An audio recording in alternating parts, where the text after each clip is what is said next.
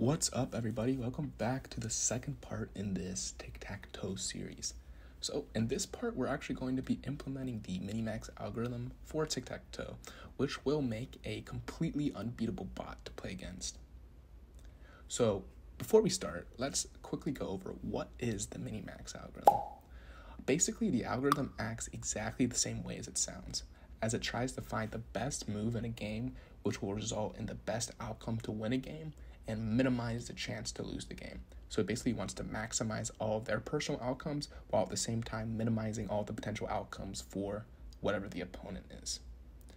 Um, talking about this algorithm in more of like a programming speak um, is basically this is a recursive program representing a tree of nodes where each node represents a specific move or outcome of the game. The bot then would tra- traverse this tree to the node with the highest value, where the value represents how good of a move it is. Um, this process can get pretty complicated when the algorithm is applied to a problem where there's millions and millions of outcomes which need to be handled. Um, but in tic tac toe, there's only a finite number of moves which can happen, so this algorithm can handle it perfectly. You want a more detailed explanation of this algorithm and its application specifically with tic tac toe, I'm going to link an article about its implementation, which is what I used to create this video. It's a decent read, um, pretty, uh, uh, nothing too complicated, uh, just reading through it, it's actually pretty nice. Um, anyways, uh, let's actually hop straight into the code now. So, the first thing that we're going to do is we're going to get rid of this computer move because we're actually going to make it a little more, um, a little more uh, uh, computerized, if you will. I'm just going to put a pass in there so it doesn't scream at us. Um, and then what we're going to do is let's come up towards the top and let's get going. So, all right, so the first thing we're going to do here is actually change up this computer move function right? So he, what we're doing here is we're actually going to be implementing some of the features which make the minimax algorithm work, but we're gonna have to define another minimax out, um, function right after this to handle everything, right? So the first thing that we need to do is we're gonna create two variables here. We're gonna make one called best score, and we're gonna initialize it to negative 800. And then we're gonna make another variable called best move, and we're gonna initialize this at zero. So the best move setting it equal to zero, it this zero really doesn't matter. It just needs to be initialized to some sort of value, right? So whatever you put here doesn't really matter. And this best score is doesn't the number itself doesn't really matter either. It just needs to be a smaller number, right? So basically what we're going to do here is we're going to go through the different nodes in the tree, right? Each node is going to represent um, a different gain state, which is a potential outcome, right? So if, let's say there's a node for an X in the top left and an O in the middle, right? That's a node um, on the tree. And every single other potential combination of X's and O's and tic tac toe is another node on the tree, right? So, what we're going to do here is we're going to create a score for each one of these nodes, and this score is going to be what tells our bot which is the best move to do. Okay? So, now what we're going to have to go down here is how are we going to figure out the score? So basically what we got to do is first we got to go through the entire board itself. So what we're going to do is we're going to loop through all the keys in the board dictionary. So for every key in board.keys, and then what we can do is we can check to see if the space is empty. So we can say if board bracket key equals a space. Then what we can do is set the board bracket key equal to the computer. Okay? So what we're doing here is we are visualizing a potential move, right? We're going through each key in the board and we're inserting the, the bot there. And we're going to see if this is a good move.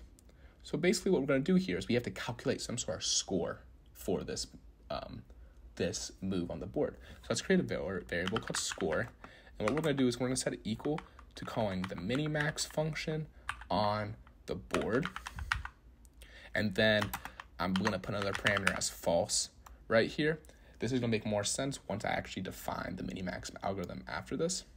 So then after we call this and we get the score, what we're going to want to do is we're going to want to reset the, that board position that we just made to an empty um, string, right? Because we don't want to have the board filled up with letters on the computer move, right? And then what we can do is we're going to check to see if the score is greater than the best score. Um, we're going to say best score is equal to score. And then that best move is going to be equal to the key. And then what we can do is we can exit out of this for loop and we can actually insert the letter. Um, the letter is going to be the computer and then the position is going to be the best move. Okay, so after it goes through this entire loop, the computer is going to know, hey, this is the best square that we should go to on the tic-tac-toe board. And then after we turn the letter, we can, or after we insert the letter, we can just return this function. So now let's come down here and define the minimax algorithm.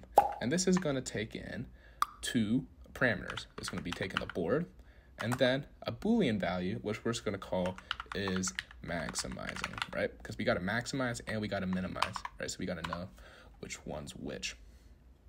Okay, so what we're going to do here is we have to first check three conditions. And what we're going to do here is we can just say if check which mark won, which is a function that we have not um, defined yet, and we're going to pass in the computer for this. And if this is the case, then we can just return 1, and then we can say elif check which mark won, and then we pass in the player, and we can return negative 1, and then we can check elif check draw, in this case, we're just going to return 0 because it's in between.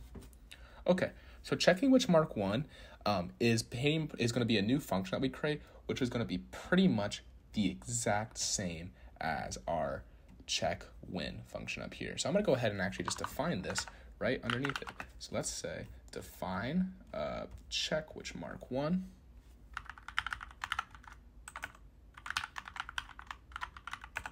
And then we're going to pass in a mark. And this mark is going to represent either an X or an O, so the player or the computer. Okay? And basically, what we're going to do is we're going to copy and paste all of this and put it right here. And the only changes that we're going to make is we're going to check to see if these are equal mark. Right? So we're want to take out all of these. Whoops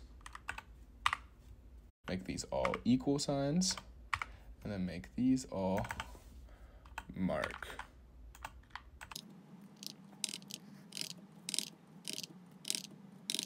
Alrighty, so now we have all these checking to see if they're equal to mark, returning true, and then false. Down there, perfect. So let's go back down and let's finish implementing this minimax algorithm. Okay, so now what we want to do is consider whether we're maximizing or we're minimizing. So thankfully we have that is maximizing boolean value up there. So what we can do is we can check to say if is maximizing. Then what we can do is we're going to do something very similar to what we did right here. So what we can do is we're going to make two we're going to make a variable. We're going to call it best score. Let's set it equal to negative 800. And then we're going to loop through all the board positions for every key and board keys. Then what we can do is we can check to see if is actually I keep I check to see what um, I can check just check to see if space is free. Space is free, and then we pass in the. Actually, no, we can't do that. that use that function um, because we don't have the position variable. But we can do is just check see if board bracket key is equal to a space, then what we're going to do is we're going to say um, board bracket key equals computer, And then what we can do is call this minimax function on itself for the score. So score equals minimax board. And then since we are already maximizing right now, what we're going to do is we're going to set the is maximizing to false so that it goes into the else block after we code this out. And then we're going to set the board position back to the empty string. And then what we can do is we can check to see if score greater than best score best score equals score. And then we go outside of this for loop right here, and then we can just return the best score. Now we can code the else block down here. And for the, the else block is we're gonna make another variable of best score, but this time we're gonna set it equal to positive 800, right? Because we're minimizing right now, okay? So what we can do is we're gonna loop through the board again, and we can check to see if board bracket key is equal to an empty string. Whoops. Board bracket key is equal to an empty string. Then we can set the board position to the to the um, to the player this time, right? Because we're trying to minimize the other person's moves, right? Board is equal to player. Then we can make the score, and we're gonna set it equal to mini max and then the board, and then this time we're gonna set is maximizing to true. And then we're gonna put the board position back to an empty string. And then with this time we're gonna say if score is less than best score, best score equals score. And then we're gonna return best score. Perfect. So after we do this, I believe we should have a complete game with the Minimax algorithm implemented. So let's go ahead and let's come down to the bottom and let's run the game and see if we have any errors. So the player went top left, or the bot went top left. Let's go two. Okay. And let's go three and see if it beats us it does not beat us. But is that that is a better move because they locked us up diagonally and vertically. So now if I go nine, it beat me right there. Perfect, right? Then let's give it a run again. Enter position for oh, this time let's tie the game. There's no way we can beat the game. So let's go into the middle. Go five. Okay, now it's going to the top, so I'll hit three. Now it's going down there, so I'll hit four. It's going to the right. Um, so now is this is going to be a tie. Draw. There we go. Perfect. That's the complete implementation. So, um, so that's the complete implementation right there. If you guys enjoyed the video, drop a like. Um, if you guys want similar type of con- content, I was thinking potentially um, make another video where I do the same exact thing except for connect four and implement the Minimax algorithm to solve that. Um, so if that's something that interests you, let me know. Um, but yeah, hope you guys liked the video. Appreciate you guys for tuning in. Thanks, everybody.